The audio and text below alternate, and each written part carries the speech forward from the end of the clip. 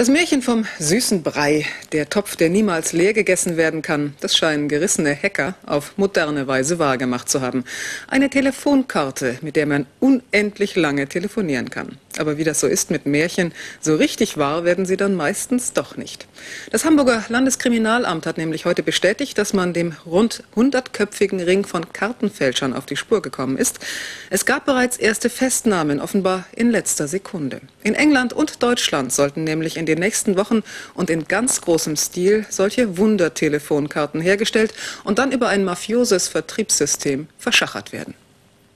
Die nachgemachten Karten sehen ähnlich aus wie die Originale. Mit dem kleinen Unterschied, dass nach jedem Gespräch das Gebührenkonto von 60 Mark wieder aufgefüllt wird. Die Karte ist somit unbegrenzt benutzbar. Davon konnte sich die Redaktion heute Nacht überzeugen. Filmen durften wir die Karte allerdings nicht zum Schutz unseres Informanten. Denn nur einige dieser sogenannten Wunderkarten sind bislang auf dem Markt. Ein Umschlagplatz für die Fälschungen ist der Frankfurter Bahnhof. Hier werden herkömmliche Karten mit wieder aufgefülltem Kontostand verkauft, aber auch die Wunderkarten. Bis zu 10.000 Mark sollen sie kosten. Etwa eine halbe Million davon sollten auf den Markt kommen. Jede hätte der Telekom Verluste von bis zu 300.000 Mark gebracht. Ein Milliardenbetrug also.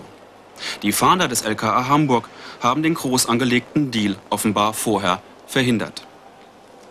Die Telekom stritt bis vor kurzem noch ab, dass Telefonkarten gefälscht werden können.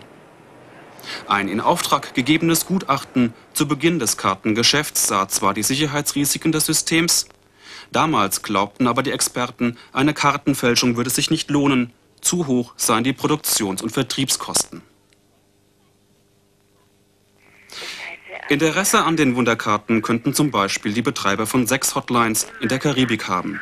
Sie verdienen ihr Geld durch die hohen Gebühren pro Telefoneinheit, die sie von den Telefongesellschaften gutgeschrieben bekommen. Das Geld wäre schnell wieder eingespielt, wären sie im Besitz einer Wunderkarte für 10.000 Mark. Und zwar, indem sie ihre Hotline selbst anrufen. Immer wieder. Die Telefonkarte, die niemals entwertet wird, nur für den Laien offenbar eine Wunderkarte, für den Fachmann durchaus ein Ding der Möglichkeit. Und einen Fachmann möchte ich jetzt fragen, der sitzt in Berlin und ist der Sprecher des Chaos Computer Clubs und heißt Andi Müller-Magun. Guten Abend.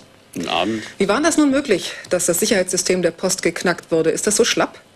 Ja, im Prinzip ist das so schlapp. Also uns war das seit mehreren Jahren bekannt. Äh, wir haben äh, auf unseren alljährlich stattfindenden Kongressen einen Workshop gehalten und äh, seit ungefähr drei Jahren wissen wir, dass also eine Simulation, sprich, dass man so tut, als ist man eine Telefonkarte, problemlos möglich ist.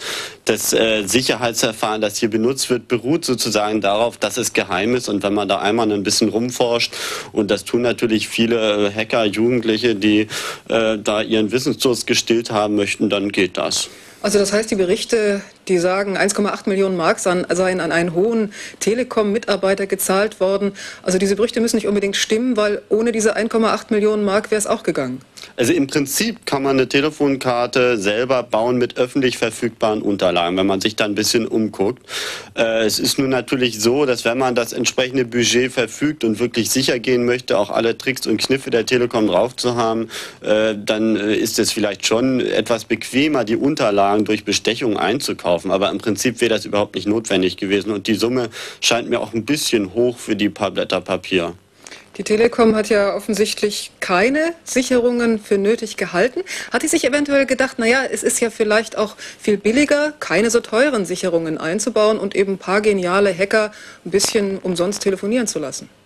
Äh, naja, also die Telekom wird sicherlich ähm, jetzt erst einmal abwägen, ob sie nicht diesen Missbrauch, wenn es nur ein paar Karten sind, hinnehmen kann. Äh, das ist sicherlich billiger als ein neues Verfahren einzuführen, aber wenn diese Berichte stimmen, äh, dass da also Karten in großem Umfang äh, produziert wurden oder werden oder im Umlauf sind, äh, dann ist es sicherlich teurer und dann muss die Telekom ein neues Verfahren einführen. Und an der Stelle hätte sie vielleicht doch äh, frühzeitig ein anderes System wählen sollen, anstatt jetzt in diesen sauren Apfel zu beißen. Ja, das muss er jetzt tun. Also es sollen neue Leseeinrichtungen für die Telefone geben und eine Kodierung der Karten, die auch irgendwie umgewandelt sein soll. Wird das denn, denn sicher sein? Äh, das werden wir herausfinden. Ja, 85 Millionen Karten sind allein in diesem Jahr verkauft worden. Die müssen dann umgetauscht werden. Das könnte durchaus passieren und das könnte außerordentlich teuer werden. Kann man denn dieses System überhaupt sicher machen?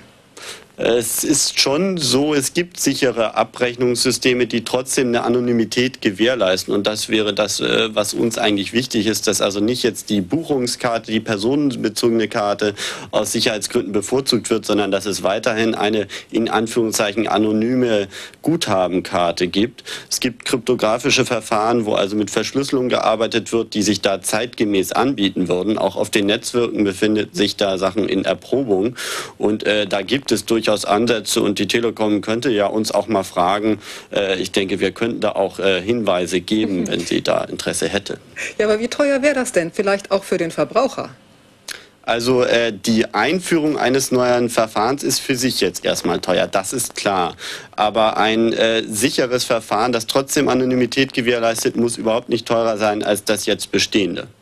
Also Chipkarten, Telefonkarten, ein Eldorado für Verbrecher. Ich bedanke mich nach Berlin.